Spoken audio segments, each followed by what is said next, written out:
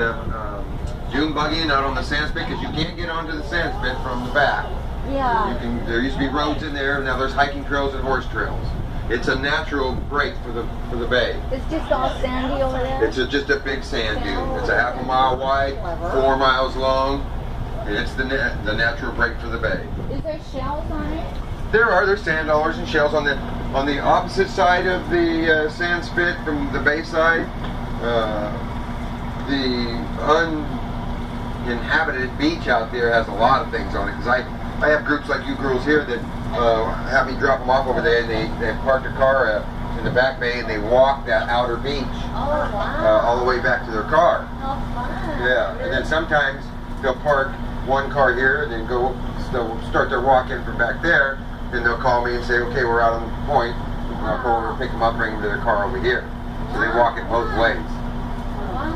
Wow. It's a group of girls, just like you girls. Are they walk? Is a walking group? A little bit. Walkers or something? And yeah, they're just, you know, naturalists. They they just like to do things. That, sometimes they power walk, Oh. Oh. sometimes they stroll. Oh, I have to stroll. I even power walk. Yeah. Well, when you get out on the wa- wet sand beach, it's it's like walking on concrete almost. It's hard as that.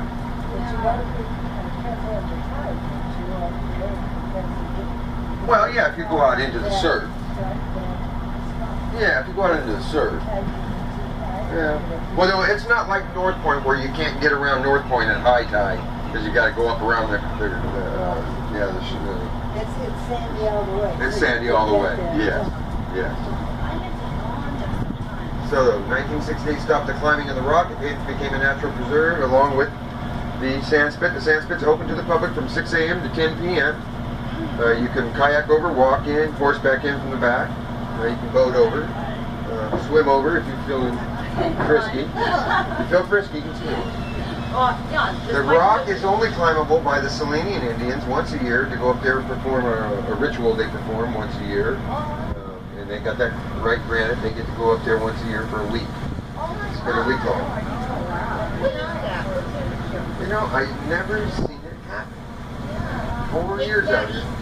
I don't know if it is or not. It'll be in the paper.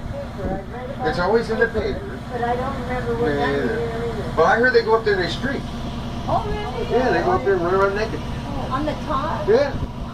Wow. Well, you find out when, if the binoculars blown up. I want to be there with my this one. Yeah. No, I'm teasing.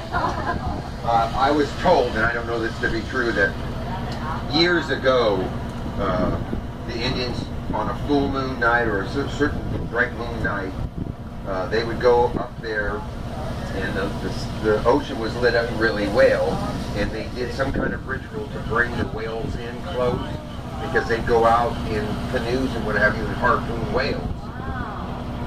Speaking of whales, They're almost here. There's a few. Yeah, they're, they're smoking it out. Yeah. And there's a, there, I went out yesterday, just uh, went, went around the rock, about a mile and a half out, went north to Cayucos, uh, just straight across from where uh, North Morro Bay, where North Point is, and you drop down into Cayucos, and Toro Creek it comes by there. Uh, straight off uh, of the water, straight off from there, about a mile and a half, two miles out, we encountered three or four whales.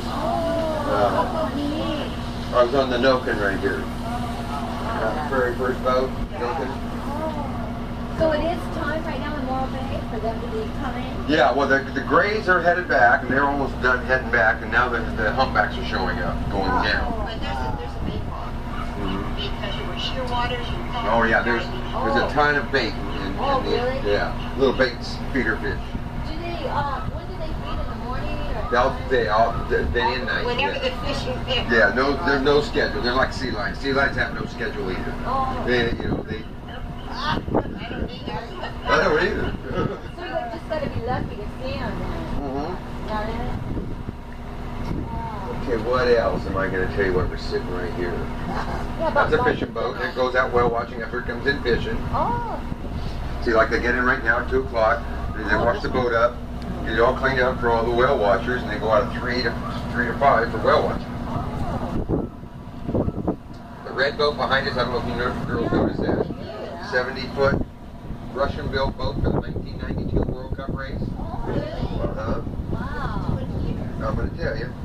It it got uh, it got disqualified. The Russians and the Soviet Union had a fallout that year, and it, it, the race was taken off from San Diego.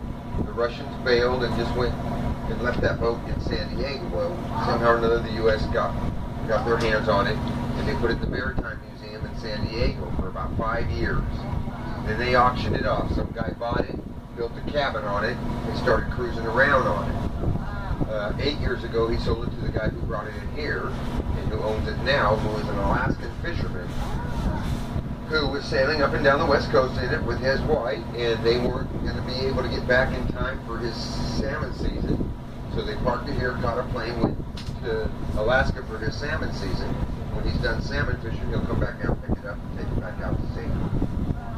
90 foot mast, 70 foot boat, 14 foot keel. Wow. Uh,